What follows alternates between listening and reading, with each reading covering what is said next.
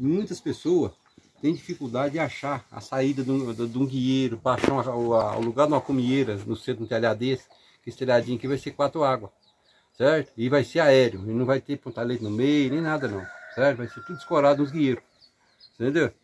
E aí a gente vai te mostrar, mostrar para vocês como vocês achar o ponto, para vocês poderem achar o lugar da comieira, entendeu? Aí o que, que vocês vão fazer? Vocês vão pegar a frente do telhado, que esse telhado aqui tem 3,97 por fora da madeira, por 7,5 na, na, na, lateral, certo? Vai dar uma comieira de 3,20 metros mais ou menos, entendeu? Aí o seguinte, aí vamos passar para vocês aqui como vocês achar o ponto da comieira, para vocês achar a finalização do guieiro. Essa peça aqui, ó, esse lado aqui, ó, ele tem 3,97 metros Aí você vai dividir no meio. Vai dividir no meio. Ele vai dar 1,98,5.7. Que vai dar a medida aqui no meio dele. Aí você vai riscar ali e vai partir a comieira para lá dele. Certo?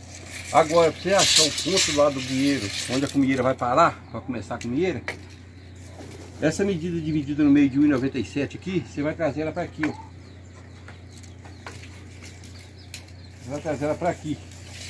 Aí aqui ela vai dar 1,97. 1,97, 1,97,5. Esse aí é o início da comieira, que é a finalização do espigão em cima, lá do com o espigão e a comieira. Aí você puxando, essa dividindo ela ali, puxando ela aqui, você só correr a linha e fazer o mesmo ponto do lado de lá. E sorta a linha, sorta o prumo, você vai achar o ponto da comieira. Do lado de lá faz o mesmo, também dobrando para cá. Aí você vai achar o comprimento da comieira para poder você também sortar as partes de lá, que é os guieiros, também da parte de lá, entendeu? Você fazendo isso, vai estar tá as quatro águas desse telhado, ela vai estar tá tudo igual, tanto a caída na, na parte maior, quanto na parte da, do, dos espigão, seja que é a parte da frente, a parte do fundo, entendeu? Aí acompanha a gente aí que a gente vai continuar explicando para vocês a finalização disso aí. Aí galera, é isso aqui que eu estava explicando para vocês. Vou acabar de passar os dados aqui da, do guieiro para chegar na comida. Como vocês podem ver na anterior, é o seguinte. A gente puxou lá, dividiu aquela parte, passou ela para aqui, daqui só para a gente achar a comida. Agora, aqui lá deu 1,97. Aqui também nós puxamos 1,97, mas é nivelado, certo? É como vocês podem ver, ó, a linha está aqui. A linha está aqui, ó, tá vendo? Aí é o seguinte, desse ponto que está aqui, esse é o ponto nivelado da obra. E você precisa achar aproximação para onde você vai colocar o guieiro. Agora, o guieiro tá... Aí agora, com a comieira no lugar, aí vocês vão achar com precisão a medida exata.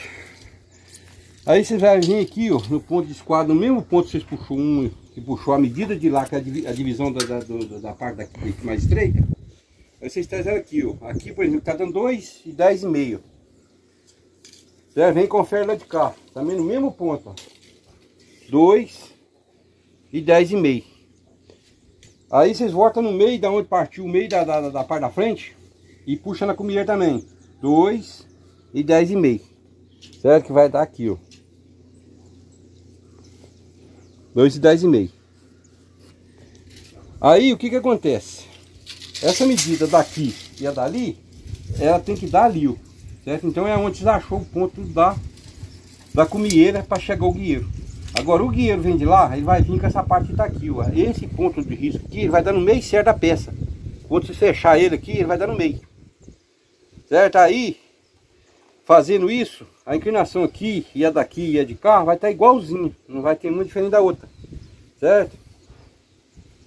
E aí sucessivamente, você segue para o outro lado fazendo a mesma, mesmo esquema, entendeu? É onde vem a aproximação das quatro águas iguais.